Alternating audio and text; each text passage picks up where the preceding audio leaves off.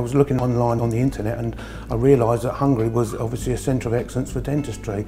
Savings approximately 40% to 50% depending where you went to uh, in England.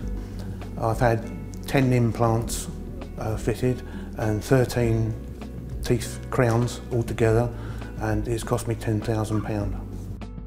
It wasn't only the prices that brought me to Hungary, it was the quality of the dentistry, 98% success rate.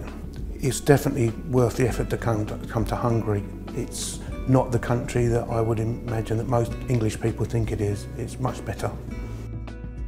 The things I liked most about Budapest first was the people and secondly it was a very good place to come for sightseeing. I would definitely recommend Hungary for my family and friends and even more so for dental treatment.